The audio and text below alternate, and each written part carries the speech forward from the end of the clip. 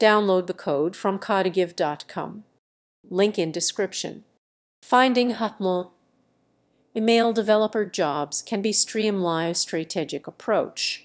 Start by refining your resume and portfolio to showcase your skills in email design, development, and best practices. Utilize job boards that specialize in tech and creative roles, such as Behance, Dribbble, and LinkedIn.